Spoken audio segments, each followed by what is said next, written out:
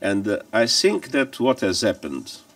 is particularly serious, not only because of the number of victims that it caused,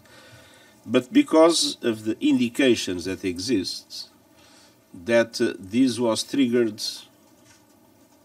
I would say, in advance of the normal way to trigger these things, because there was a risk of this being discovered. Because obviously,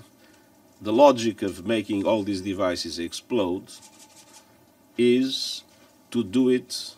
as a preemptive strike before a major military operation.